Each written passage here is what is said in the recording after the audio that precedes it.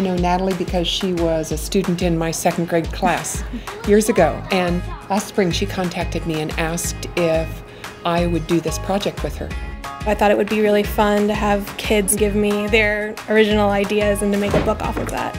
I love working with kids. It's always my favorite part of my week. When she brought in the storyboard, that was impressive to the kids. I mainly use a lot of models to give me shape and texture. To see what every little piece does and all the work that went into the planning behind that book, that made an impact on them.